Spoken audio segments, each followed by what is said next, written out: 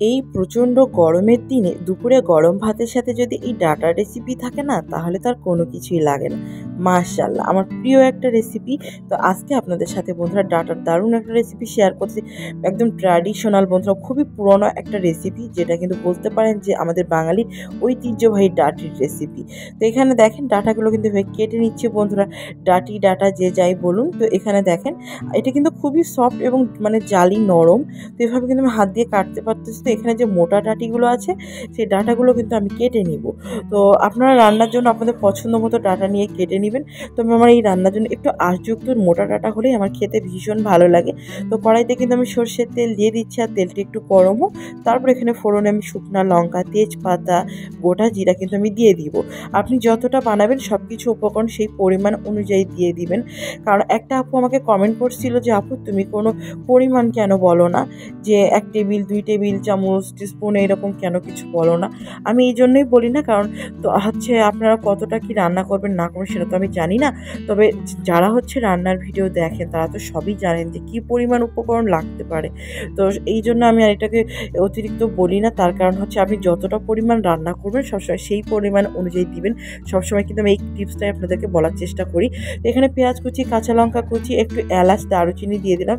এলাচের মুকুল হালকা একটু ফাটিয়ে দিয়েছি, আর এই যে দেখেন, আলু দিয়ে দিচ্ছি। আলুগুলো হচ্ছে লাল আলু মানে হচ্ছে যে মিষ্টি আলু সেগুলো না রান্নার যে লাল আলু পাওয়া যায় সাদা লাল আলু, সেই আলু। তো এখানে দেখেন আমি ডাটাগুলো কিন্তু এরকম ছিলে দিয়েছি। আর এই রান্নার জন্য একটু আশযুক্ত এরকম ডাটা হলেই কিন্তু খেতে ভীষণ ভালো লাগে। এইটা বন্ধুরা দুপুরে গরম ভাতের সাথে যদি থাকে, একটা পদেই কিন্তু আপনি এক নিমেষেই প্লেটের ভাত শেষ হয়ে যাবে আদার্স অন্য কোনো পদই আপনার লাগবে না। অসম্ভব মজাদার একটা রেসিপি আর এই গরমের দিনে বন্ধুরা আমরা সবসময় চাই যে একটু হালকা পাতলা, যদি একটু ঠান্ডা ঠান্ডা কোনো তরকারি হয়। আর ডাটার কিন্তু অনেক গুণাগুণ, অনেক উপকার যে কোনো সবজির সব প্রত্যেকটা সবজির কিছু না কিছু গুণাগুণ কিন্তু আছেই বন্ধুরা। তো এখানে মসুর ডাল দিয়ে তারপরে কিছুক্ষণ একটু নাড়াচাড়া করে ভেজে নিয়েছি।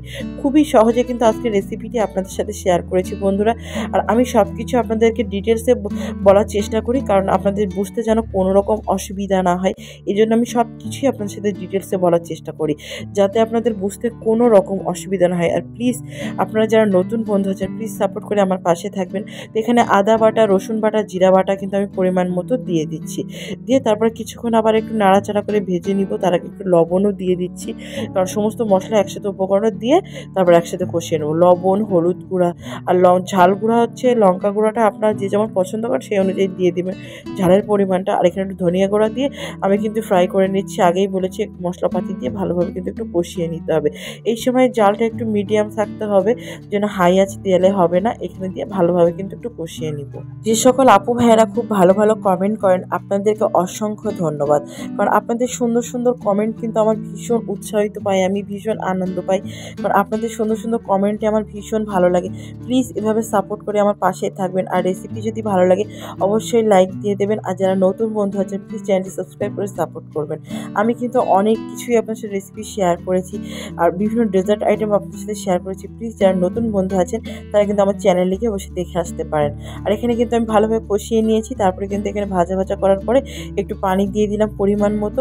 আর এই যে দেখেন বন্ধুরা, পানিটা পরিমাণ মতো দিয়ে আর সবসময় রান্নার ক্ষেত্রে একটু উষ্ণ উষ্ণ গরম পানি যদি ব্যবহার করা হয়, তাহলে কিন্তু সব থেকে ভালো হয়। কারণ সেই রান্নার টেস্টটা কিন্তু খুবই ভালো আসে যে কোনো রান্নায়।